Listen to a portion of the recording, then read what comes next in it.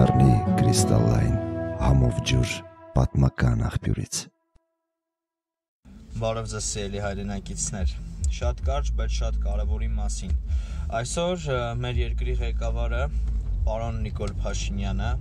հայտարարեց ապարքեվավճարների մասին, որ այո, շատ լավ է որ նախարարները դրանք ստանում են եւ այլն եւ այլն եւ այլն։ Հիմա ես ուզում եմ մի քիչ էմոցիոնալ, բայց նաեւ փաստարկված մի կարճ ելույթ ունենալ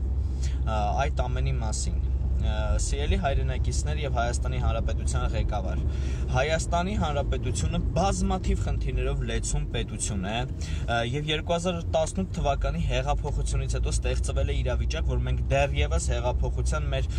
կարևորագույն խնդիրներին չենք հասել։ Հայաստանի Հանրապետության միակ փոփոխությունը դա ասֆալտն է եւ վերջ։ Այստեղ երևի թե այլակարծություն չկա։ Ունենք կադրային ահավոր խնդիրներ։ Ազգային ժողովի պատգամավորները ստանում են ապարքեվա վճարներ, նախ նախարարները եւ մարսպետները։ Այս իրողությունների մեջ մենք միևնույն ժամանակ հայտարարում ենք, որ ապարքեվավճար ստացողը նորմալ է, բայց ՀԴՄ չխփողը դա բանակի հացնագողանում։ Ես ուզում եմ նաեւ ձեզ, պարոն Փաշինյան, ասել, որ այդ ապարքեվավճարները ձևավորվում են ՀԴՄ-ների գումարից եւ շատ ավելի շատ անհատի վրա անկած այդ ապարքեվավճարի քանակն է, քան այդ ՀԴՄ-ի մի խանութի թիվը։ Եվ այս իրողության մեջ Հայաստանի Հանրապետությունում ձեր կողմնակի բնակիչները եւ նաեւ ռոբասերժական համակարգը ստեղծել են իրողություն, որտեղ ստացվում է հետեւյալ պատկերը։ Երբ մենք բարձրաձայնում ենք ինչ որ խնդիր, որի լիարժեք իրավունք ունենք, քանի որ մենք այն մարդկանցից ենք, ովքեր մասնակցել են հեղափոխությանը, ինչպես ամբողջ Հայաստանի մոտ 80%-ը։ Խիեմ ասում 80%-ը, որտեղ ոմանք հրաապարակում չեն եղել, բայց նույնպես մասնակցել են հեղափոխությանը։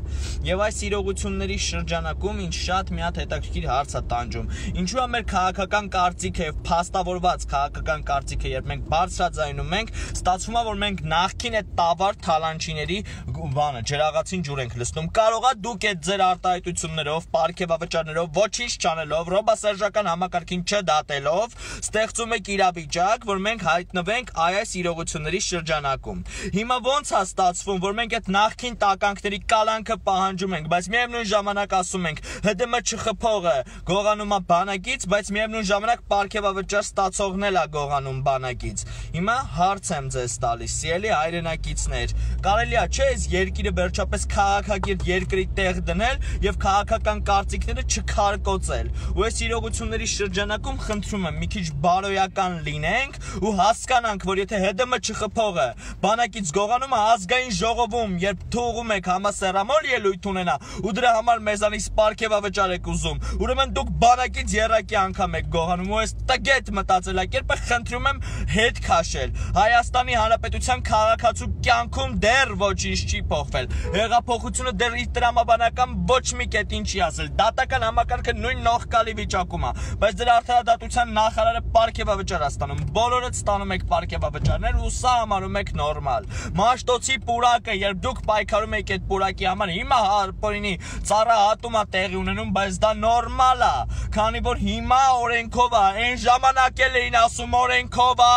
Հերիք այդ օրենքը կողեք մեր աչքը, հեղափոխությունը նրա համար էր, որ այդ օրենքը փոխվեր, որ այդ օրենքով մեզ հայ ժողովրդիս այլևս չբռնաբարեին, որովհետև այն ժամանակ էլ մեզ թալանում էին, ասում էին օրենքով է։ Հիմա էլ են նույն բան անում, ասում են օրենքով է։ Մենք զզվում ենք այդ ապորինի օրենքից։ Մենք զզվում ենք ռոբասերժական համակարգի սահմանադրությունից։ Լևոնից սկսած այս երկրում ամեն ինչը թարս է։ Հեղափոխություն արել ենք այդ թարսության դեմ ոչ թե որ էլի մեզ ասեք օրենքով է։ Խնդրում եմ ուշքի արեք, թե չէ մենք ձեզ ուշքի կբերենք։